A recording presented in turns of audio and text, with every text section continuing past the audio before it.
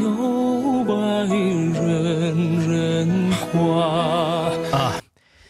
i- if you guys have, have, have watched all of our videos in a, in a previous video we discussed um, i- about vocals and the way that you tune vocals and how in production how a lot of times things will get taken out or put into vocals